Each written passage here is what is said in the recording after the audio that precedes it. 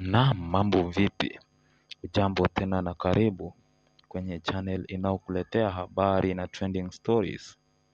Baada ya William Samoei Ruto kuweza kuoda kushikwa kwa aliyekuwa cabinet secretary wake Uhuru Muigai Kenyatta wakati alipokuwa deputy bwana Najib Balala ambaye imeweza kusemekana kwamba amekamatwa ametiwa mbaroni baada ya kusemekana kuwa alikuwa involved na graft scandal ya takriban shilioni bilioni nane nukta tano.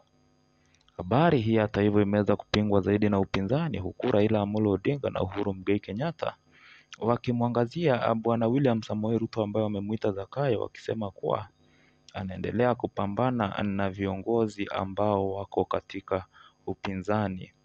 Hata hivyo supporters wengi wa Azimio wameendelea kusema kwamba kamwe hawawezi mtetea bwana Najib Balala ila watataka justice iweze kuprevail. Subscribe na uturn on notification bell ili uzidi kupokea habari zetu.